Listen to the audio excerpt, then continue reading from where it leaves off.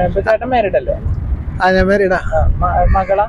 ആ മക്കളാണ്. ആ, അപ്പൊ ആ പെൺമക്കൾ. മകൾക്ക് ഏത് ജോലിയുള്ള ചെക്കനാണ് വിവാഹം കഴിക്കാൻ താല്പര്യം?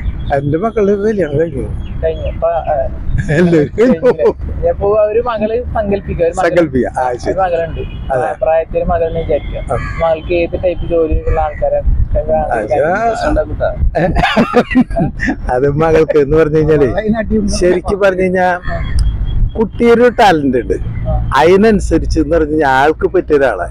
അത് എനിക്കും കൂടി താല്പര്യം വരണം. വലിയ കുഴപ്പമില്ലാത്ത പാർട്ടി ആയിരിക്കണം. വലിയ ജോലി ഒന്നും ആവണമെന്നില്ല. അത്യാവശ്യം ജീവിച്ചു പോകാവുന്ന സാഹചര്യത്തിൽ കൂടി ജോലി എന്റെ മോൾക്ക് ക്വാളിഫിക്കേഷൻ വെച്ച് അത് ശരിയാവുന്നുണ്ടെങ്കിൽ അങ്ങനെ ചെയ്യും.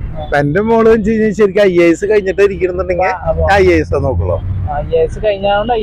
നോക്കുള്ളൂ. വെച്ചാൽ പറഞ്ഞാൽ എന്റെ മോളെ സെൽസിങ് കുസ്തിയാണെന്നുണ്ടെങ്കിൽ അപ്പൊ എന്ന് പറഞ്ഞാൽ ശരാശരി ആ സ്റ്റാൻഡേർഡ് അനുസരിച്ചല്ലേ നമുക്ക് ചെയ്യാൻ പറ്റുള്ളൂ. അങ്ങനെ ആലോചിക്കും. അത് കുട്ടിയുടെ ഒരു കഴിവിനനുസരിച്ചും അതുപോലെ എന്ന് പറഞ്ഞു കഴിഞ്ഞാൽ വേറെ ഒന്നല്ല കുട്ടിയായിട്ട് ഒരു പൊടിക്ക് ഗ്ലാമറോ ബാക്കിയുള്ളതോ കൂടി കഴിഞ്ഞാൽ കുറച്ച് കഴിഞ്ഞാൽ എന്റെ മകൾ പോരാന്ന് ഈ കല്യാണം കഴിക്കുന്ന ആൾക്ക് തോന്നും.